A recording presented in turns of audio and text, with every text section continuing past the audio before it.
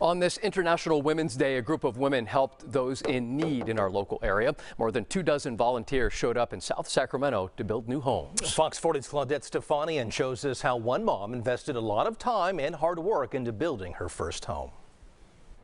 Construction is well underway in South Sacramento. We're seeing scaffolding setups like this positioned all over the area. Miranda Gershom has been hard at work laying the foundation of a place she will call home. I've done a lot of DIY at my grandmother's house, helping her fix things around the house, like the sinks, faucets, things like that, but never to this magnitude. Her house will be one of 13 homes in development for Women Build Month. 550 women volunteers will hammer away, working to create homes for women who are low income. Doing everything from painting to framing walls, raising walls, and a lot of things in between.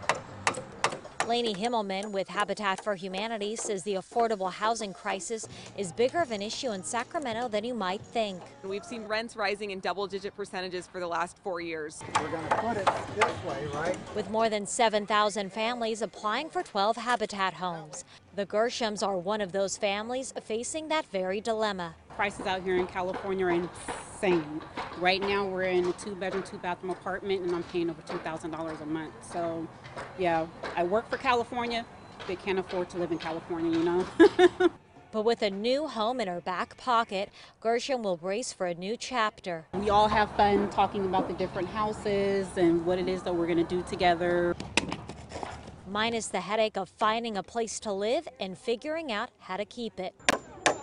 Reporting from South Sacramento, Claudette Stefanian, Fox 40 News.